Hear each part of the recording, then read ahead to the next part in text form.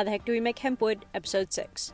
First, we're going to go to the end cutter, which does exactly that. It will cut off the ends of the block. Then, we're going to go to the bandsaw. We first remove the skins of the block, which are the darkened portions due to the baking process. After removing the skins, we then begin to cut for the lumber that we need for the day. Today, we're going to be cutting floor veneers, which you can see here. Depending on how the block is turned, we get two different grain visuals, rift and live sawn, which you can see there.